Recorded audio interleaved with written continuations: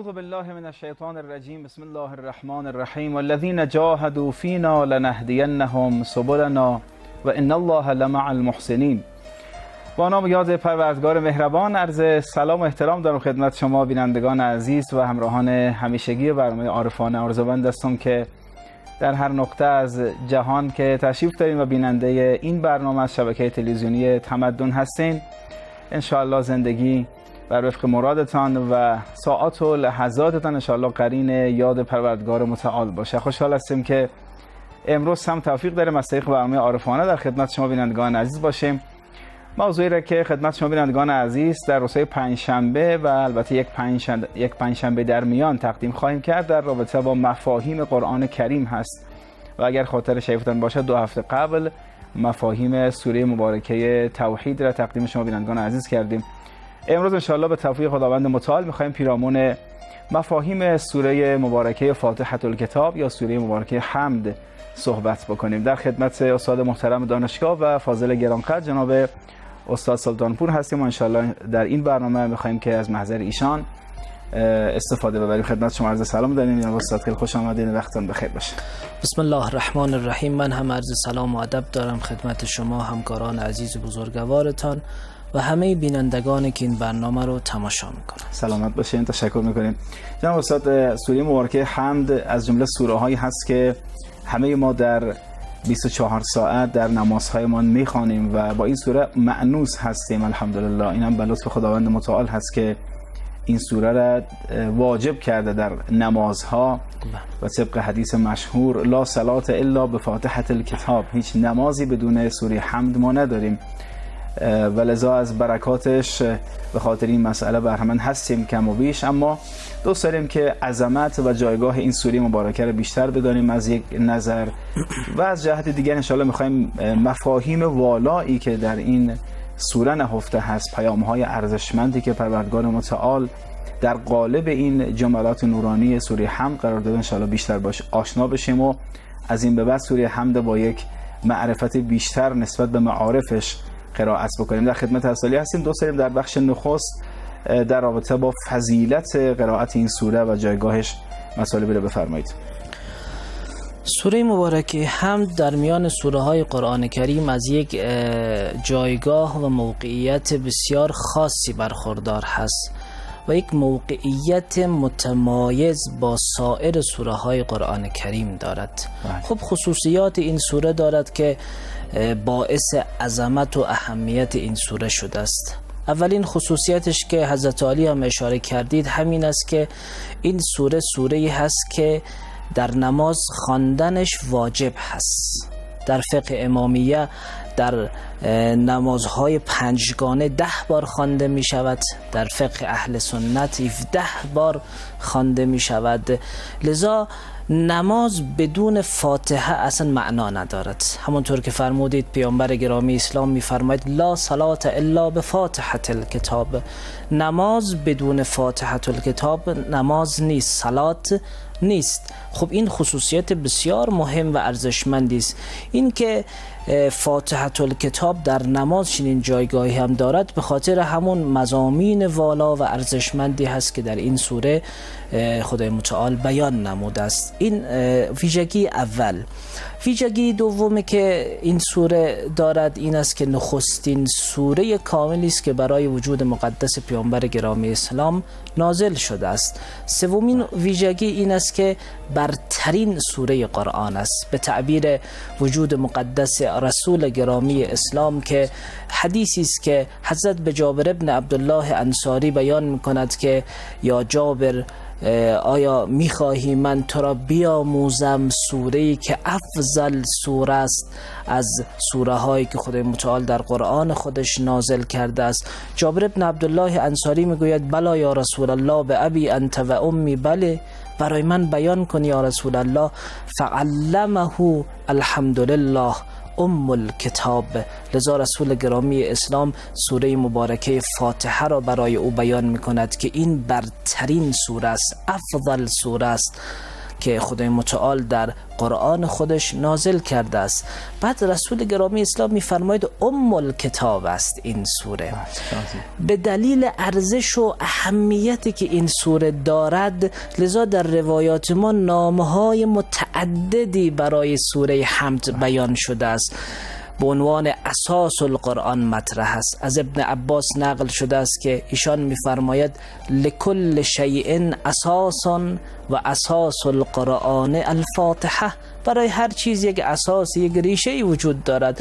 اساس قرآن کریم در سوره های قرآن سوره مبارکه فاتحه الکتاب هست.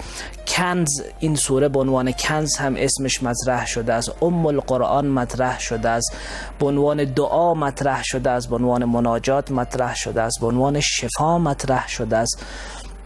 لذا وقتی ما در بحث فضائل سوره مبارکه حمد احادیث رو مرور می‌کنیم احادیثی که در ارتباط با سوره مبارکه حمد بیان شده است ما به مطالب زیبا و ارزشمندی می‌رسیم و این اسامی هم هر کدام حکمتی دارد برای خودش که در روایات برای ما بیان شده است. مثلا وجود مقدس امام صادق علیه السلام میفرماید که ما قرأت الحمد علا وجع سبعین مر الا سکنه من سوره مبارکه حمد رو بر دردی نخواندم هفتاد مرتبه مگر اینکه او آرام شد و شفا پیدا کرد التیام پیدا کرد. یا اینکه در همین حدیثی که از وجود مقدس رسول گرامی اسلام من خواندم در یک بخش از این حدیث حضرت میفرماید به جابر ابن عبدالله انصاری الا اخبرک عنها؟ آیا می‌خوای من از خصوصیات این سوره برای تو مطلبی بگویم؟ جابر ابن عبدالله انصاری میگه بلا یا رسول الله بله برای من بفرمایید. حضرت میفرماید هی شفاء من کل داء الا السلم. این چی است؟ سوره مبارکه. حمد شفا است برای هر دردی مگر مرگ. برای یعنی یک پتانسیلی. در این سوره نهفته است. یک خصوصیتی در این سوره نهفته است که اگر به اون شرایط خاصش خوانده بشود چنین اثری دارد و می‌تواند شفایی باشد بر هر دردی. امام صادق علیه السلام روایت زیبایی دارد. حضرت میفرماید اگر حاجتی داشتی در زندگی به مشکلی برخوردی می توانی از طریق قرائت سوره مبارکه حمز اون مشکل رو حل بکنی و دعا بکنی. حضرت میفرماید اذا کانت لک حاجتا فقر المثانی و سورة اخلا و سل رکعتین. اگر حاجتی در زندگی برات پیش آمد سوره مبارکه حمد رو بخوان به همراه یک سوره دیگر و دو رکعت نماز بگذار. بعد ودع الله اونگاه از خدای متعال بخواه حاجت خودت را دعا بکن و خدای متعال حاجت تو را برآورده خواهد کرد. لذا این فضائل و این عظمتی هست که در ارتباط با سوره مبارکه حمد بیان شده است. سوره مبارکه حمد هفت آیه دارد. بسم الله الرحمن الرحیم جزء سوره هست. و هفت آیه دارد و جزء سوره های قصار قرآن کریم به حساب می آید و از مزامین بسیار عالی و متعالی برخوردار هست. بسیار عالی. خیلی استفاده کردیم جناب استاد. تشکر می‌کنم. در محور بعدی صحبت جناب استاد می‌خوایم وارد موضوعات کلی بشیم که در این سوره بیان شده. خداوند متعال در قالب این سوره نورانی و مبارکه چه مفاهیم کلی را که به عنوان می‌تونیم بگیم سرخط موضوعاتی که در این سوره بیان شده بفرمایید. در سوره مبارکه حمد مفاهیم والا و ارزشمند زیادی بیان شده است که اگر ما بخوام به جزئیات اونها بپردازیم بسیار زیاد هست. اما اگر ما بخوایم یک تقسیم بندی را ارائه بکنیم که به صورت کلی چه مفاهیمی در این سوره بیان شده است ما می توانیم سه تا موضوع را بیان بکنیم که در سوره مبارکه حمد به صورت بسیار زیبا و ارزشمند بیان شده است. یکی از اون موضوعات بحث ستایش و نیایش هست. ما دو تا مفهوم داریم. یک بحث ستایش داریم مفهوم ستایش یعنی حمد و ثناء الهی. یکی بحث نیایش یعنی مناجات کردن با پروردگار است. این دو تا مفهوم به وضوح در سوره مبارکه هم دیده شده است. مفهوم دیگر یا موضوع دیگری که در سوره مبارکه هم بهش پرداخته شده بحث بیان سه تا اصل مهم و اساسی دین اسلام هست. یکی بحث توحید هست یکی بحث معاد هست یکی بحث نبوت هست که اینها جزء مباحث مهم و جزء اصول دین هست که هر انسان مسلمان باید به اینها معتقد و ایمان داشته باشد. موضوع سومی که در این سوره مبارکه بهش پرداخته شده و تبیین شده در این سوره مبارکه این است که خود متعال دو تا خط زندگی رو برای ما ترسیم می کند یک خط خط سعادت هست خط خوشبختی و مسیر هدایت است. یکی هم خط انحرافی است خط زلالت هست خطی است که از مسیر خدا دور است. خدای متعال میاد این دوتا خط رو برای ما بازگو می کند تبیین می کند و برای انسان مهشدار می دهد که در مسیر سرات المستقیم گام بردار. چون این مسیر تنها مسیری است که انسان را به سمت سعادت و هدایت و به سمت خدای متعال دعوت می‌کنه خدا خیرتان بتینم از به اصطلاح خطوط اصلی و موضوعات کلی که در این سوره هست. حالا دوست داریم وارد هر جزئی بشیم جناب استاد و مفاهیم را مطابق وقتی که در برنامه انشالله داریم برداشت بکنیم از این مفاهیم یاد بگیریم. بفرمایید. اولین مفهومی که من عرض کردم بحث مفهوم ستایش و نیایش هست. شما ببینید ما سوره مبارکه حمد رو وقتی آغاز می‌کنیم با این کلمات آغاز می‌کنیم. بسم الله الرحمن الرحیم. الحمد لله رب العالمین. الرحمن الرحیم مالک یوم الدین. این چهار تا آیه که من خواندم آیاتی است که در ارتباط با بحث ستایش پروردگار هست. ببینید قرآن کریم سوره مبارکه هم تفاوتش با سایر سوره های قرآن از حیث لحن است. لحن این آیه با آیات دیگر متفاوت است. لحن این آیه زبان این آیه زبان بندگان هست. یعنی سخن سخن خدای متعال هست. اما خدای متعال از زبان بندگان داره سخن می‌گوید و حرف می‌زند. در حالی که ما سایر سوره های قرآن کریم را وقتی مشاهده می‌کنیم می‌بینیم سخن خدای متعال است. سخن پروردگار است دستور پروردگار است توسعه خدای متعال به بندگان است. اما اینجا سخن را انسان داره به خدا خطاب قرار می‌دهد. لحن این آیه به این شکل است. لذا این آیه بحث نیایش در او بسیار بولد شده است. هم ستایش دارد هم نیایش. الحمدلله رب العالمین. حمد و ثنا مخصوص پروردگار عالمیان است. حمد و ثنا مخصوص خدای عالم هست. خدایی که رحیم است خدایی که رحمان است خدایی که مالک یوم الدین است. مالک این عالم هست. مالک همه عالم هاست. هر عالمی را که شما در این هستی تصور بکنید مالک او وجود مقدس ذات باری تعالی است. اینجا این آیات ابتدایی بحث ستایش پروردگار هست. اما از این قسمت آیات سوره مبارکه هم بحث سخن بندگان با پروردگار است. ایاک نعبد و ایاک نستعین اهدنا الصراط المستقیم صراط الذين انعمت عليهم غیر المغضوب عليهم ولا الضالین این آیات مناجات انسان با پروردگار است. ببینید خدای متعال خیلی زیبا اینجا برای انسان بیان می‌کند که یک بنده چگونه می‌تواند با پروردگار خودش سخن بگوید. با پروردگار خودش حرف بزند. همه من و شما نیاز به حرف زدن با خدای متعال داریم. هیچ انسانی را انسان پیدا نمی‌تواند که بگه من بی نیازی از خدای متعال هستم. انسان در زندگی خودش برای موفقیت خودش برای آرامش خودش برای سعادت خودش برای هر کاری که انسان در زندگی می‌خواد انجام بده تا موفق بشود نیاز به وجود, مت... وجود خدای متعال دارد. نیاز به خدای متعال دارد. نیاز به این دارد که با خدا ارتباط برقرار کند با خدا حرف بزند با خدا صحبت بکند.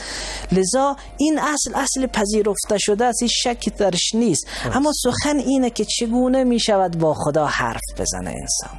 چطور میشه انسان با پروردگار خودش حرف بزند؟ انسان می‌تونه دلی با پروردگار خودش حرف بزند. هیچ مشکلی نیست. هر انسانی در هر موقعیتی هست با هر زبانی که دارد با هر لحجه که دارد با هر کلماتی که دارد با هر مدلی که دوست دارد می‌تواند با خدا حرف بزند. هیچ مانعی وجود ندارد. انسان همین که اراده بکند با پروردگارش حرف بزند این خط برقرار می‌شود متصل می‌شود. این سخن سخن دلی با پروردگار است. خیلی زیبا هست خیلی ارزشمند هست. اما خدا خیرتان بده زنده باشین. اگر اجازه شما باشین جناب استاد وقفه داشته باشیم از تعلیم سرایت داشته باشین و انشالله بازگردیم و ادامه مفاهیم سوره مبارکه حمد از زبان جناب علی بشنیم. از این بیننده شما خواهشمند هستم که همراهی بفرمایید. بعد از دیدن یک مناجات زیبایی که آماده نش هست انشالله باز هم در خدمت شما هستیم.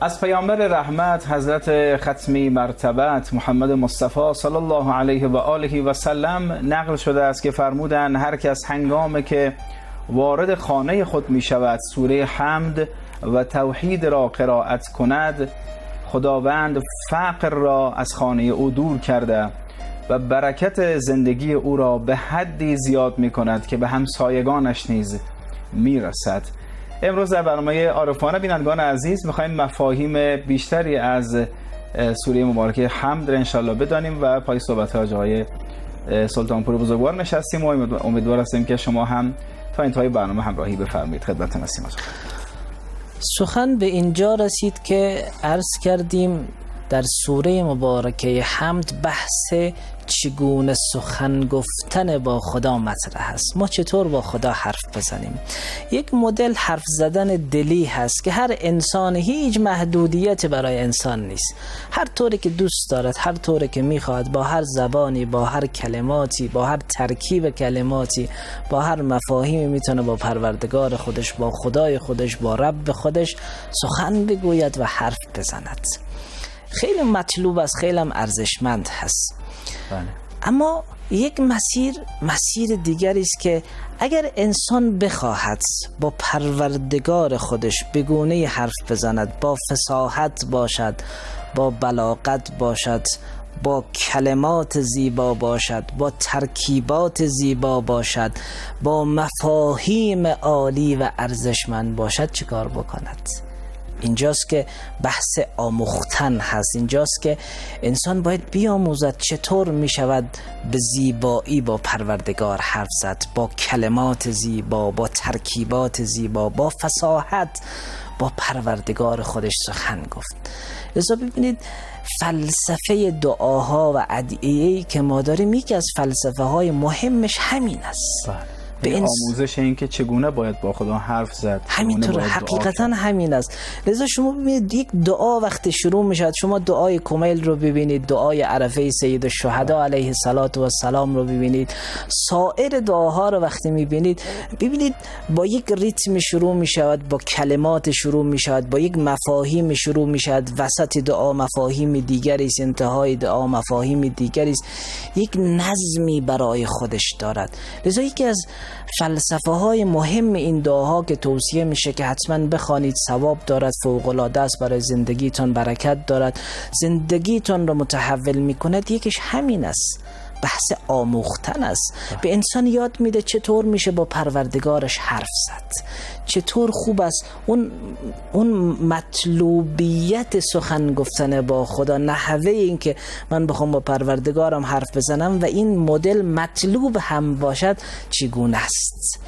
لذا در سوره مبارکه هم خدای متعال می‌خواد چگونه سخن گفتن بنده با پروردگارش رو بیان بکند؟ چگونه حرف زدن و گپ زدن عبد با معبودش را برای ما تبیین بکند بیان بکند؟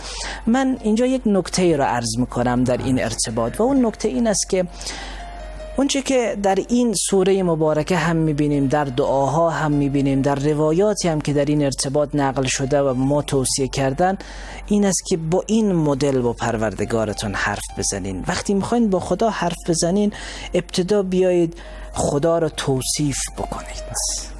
ابتدا بیاید عظمت خدا را بیان بکنید صفات خدا را بیان بکنید بزرگی پروردگار را وسعت قدرتش را علمش را بصیرتش را همه صفات ارزشمند الهی را. به توصیف کنید پروردگارتون را لذا وقتی شما دعاها رو می‌خوانید دعای کمیل رو دعای عرفه سید الشهدا رو با همین مضمون شروع می‌شود دعا.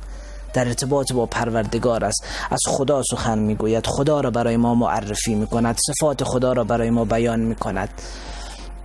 در سوره مبارکه همدم همین طور است. آغاز سوره با همین کلمات با همین مفاهیم شروع می شود بسم الله الرحمن الرحیم. به نام خداوندی که رحمان است و رحیم. الحمد لله رب العالمین حمد و سنا مخصوص رب العالمین است. پروردگار این عالم است پروردگار عالمیان است. الرحمن الرحیم مالکی ام الدین. اینجا انسان داره توصیف می‌کنه پروردگارش رو.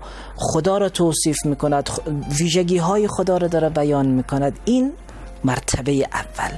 بعد از اینکه انسان خدا رو توصیف کرد بیان کرد صفاتش رو بیان کرد می‌رسد به مرحله دوم. اون وقت جایگاه خودش رو به عنوان انسان بیان بکند. من انسان در چه جایگاهی هستم؟ خب خدا جایگاهش مشخص شد صفاتش ویژگیهاش مشخص شد. حالا من انسان در کجای این عالم هستم؟ چه ویژگی هایی دارم؟ لذا بیاد خودش رو توصیف بکند فقر خودش رو نیاز خودش رو. اینکه اون نیاز شدید به پروردگارش دارد. او فقیر مطلق است. خدا غنی مطلق از انسان فقیر مطلق هست و سایر صفات خودش رو. بعد این دو مرحله که گذشت که در این سوره هم بیان شده ایاک نعبد و ایاک نستعین خدایا من فقط تو را می پرستم یعنی فقط تو شایسته پرستش هستی. من عبدم کارم پرستیدن است فقط تو را میپرستم. یا کنستعین من نیاز به تو دارم فقط از تو کمک می‌خواهم. درست است. اینجا بحث جایگاه انسان. حالا می‌رسد به اون قسمتی که من بخوام از خدا حاجت خودم را بخواهم. اینجاست. اهدنا الصراط المستقیم. خدایا وصفت کردم جایگاه منم مشخص شد. حالا اهدنا الصراط المستقیم. خدایا مرا در راه راست هدایت کن. لذا دعاهای ما هم به همین شکل است. هم دعای کمیل هم دعای عرفه سید الشهدا هم سایر دعاها با همین مضمون شروع میشه. بعد اونجا حاجت ها خواسته میشه. اون چی که انسان قرار از خدا بخواهد خواسته می‌شود. این چگونه حرف زدن با خدا قاعدش اینه. انسان با این قاعده با پروردگارش حرف بزنه. این قاعده یک اثر تربیتی خیلی خوبی دارد. و اون اثرش این است وقتی من ابتدا با این شروع می‌کنم که خدا را برای خودم وصف می‌کنم عظمتش رو میگم قدرتش رو میگم. تمام وجود من شهادت می‌دهد که این خدا می‌تواند مشکل مرا حل بکند. بله. این خدا می‌تواند حاجت مرا بدهد. چون او خدای این عالم است رب این عالم است. همه گنجینه های عالم در اختیار این پروردگار هست. من که نیازمندم او که غنی هست. این اثر تربیتیش هست لذا این اثر میتا این مسیر مسیر مناجات کردن با پروردگار است. پس اولین مضمونی که ما در سوره هم با او آشنا میشیم بحث ستایش و نیایش با خدای متعال هست. لذا نصف آیات سوره مبارکه هم در مورد خدای متعال است و نصف آن سخن بنده است با پروردگار خودش که طبق روایتی هم که از امیرالمؤمنین نقل شده همین مفهوم رو برای ما بیان می‌کند. این موضوع اولی که در سوره هم بیان شد. خدا خیلی خیلی استفاده کردیم جناب استاد. در دعای شریف عرفه سید شهدا علیه السلام هم دقیقا همین روادی که حضرت علی در سوره مبارکه حمد فرمودین آدم مشاهده می‌کنه. در بخشی حضرت ابتدا میآیند و اوصاف و اسماء و صفات و جایگاه پروردگار متعال را بیان می‌کنند. الهی انت الذی خلقت انت الذی گفتم میرن انت الذی و جایگاه پروردگار متعال را چندین مرتبه بیان می‌کنن. بعد نوبت می‌رسه به جایگاه بیان. اینکه خودش کدام جایگاهی در می‌فهمد؟ انا الذی بله. من کی هستم؟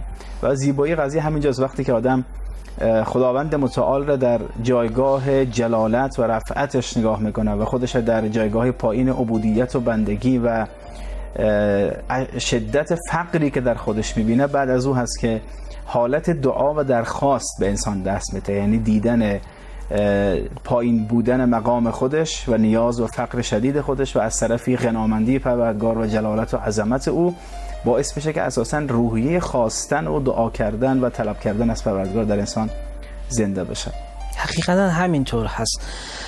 لذا به خاطر همین است این که فلسفه تلاوت قرآن این که برای ما بیان میشه که قرآن بخوانید قرآن تلاوت بکنید فلسفهش همینه.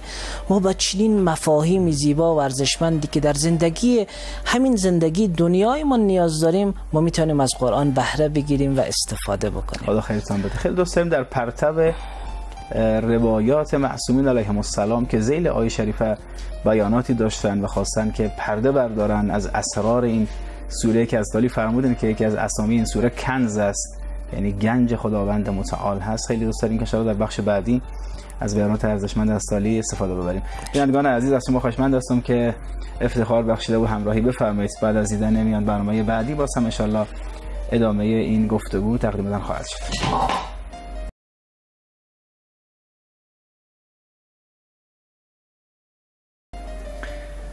بخش زیبایی از سوره مبارکه حمد همونطور که جناب استاد سلطانپور فرمودن اختصاص یافته به این که با پروردگار متعال مناجات داشته باشیم و در حقیقت دعا هست این بخش از بخش پایانی سوره مبارکه حمد. و امام سجاد علیه السلام در ادعیه فراوانی که از این امام بزرگوار به ما رسیده در حقیقت آموزش عملی دادن که چگونه باید با خالق متعال حرف زد و چگونه از او درخواست و تمنا کرد که در این کلیپ زیبا بخش های از مناجات امام سجاد علیه السلام را به اتفاق شما از بیننده شنیدیم. امیرالمومنین علیه السلام در روایتی بسیار زیبا و نورانی فرمودند خداوند متعال معارف تمام کتب آسمانی را در قرآن جا داده است و تمام معارف قرآن را در سوره مبارکه حمد قرار داده است و بعد ادامه حدیث که در حقیقت شعنی از شعونات و جلالت و رفعت مقام خود آن حضرت هست. بند فرمودند که خداوند متعال تمام معارف قرآن را در بسم الله الرحمن الرحیم قرار داده است و بعد تمام معارف بسم الله در باء آن است و انا نقطه البا و من عمل المؤمنین نقطه باء بسم الله هستم. در خدمت شما بینندگان عزیز هستیم دوست در این بخش بخشی از کلام معصومین علیهم السلام را که در زیل سوره مبارکه حمد و تفسیر این آیات شریفه وارد شده است زبان گویه آقای سلطانپور بشنیم خدمتتون هستم دومین مفهوم و موضوعی که در سوره مبارکه هم بیان شده است و خیلی زیبا است بحث بیان اصول اساسی دین هست توحید معاد نبوت. الحمد لله رب العالمین الرحمن الرحیم مالک یوم الدین ایاک نعبد و ایاک نستعین. اینها همه توحیده توحید در ذات توحید صفات توحید عبادت توحید افعالی پروردگار. همه اینها بحث های توحید است و بحث های زیبا و ارزشمند توحید که در این سوره به زیبایی مطرح شده و بیان شده. بحث دوم معاد هست. مالک یوم الدین. اینجا خدای متعال میفرماید با اینکه نیاز نبود که خدا بفرماید که مالک یوم الدین دوباره خدا خالق روز قیامت هم هست. از جملات قبلا فهمیده میشه که خدا خالق همه عالم است چه دنیا چه آخرت. اما مالکیت حقیقی خدای متعال در روز قیامت یک جلوه دیگری دارد. لمن الملک. دقیقا. لله الواحد القهار. همینطوره. در روز قیامت اونجاست که همه انسان ها با تمام پوست و وجود خودشون درک می‌کند که مالک حقیقی فقط خداست.